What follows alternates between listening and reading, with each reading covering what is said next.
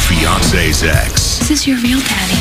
Is a lying liar who lies. Wake up and realize that Claudette is playing you. It's time for a second opinion. How long do paternity test results take? General Hospital, this week on ABC.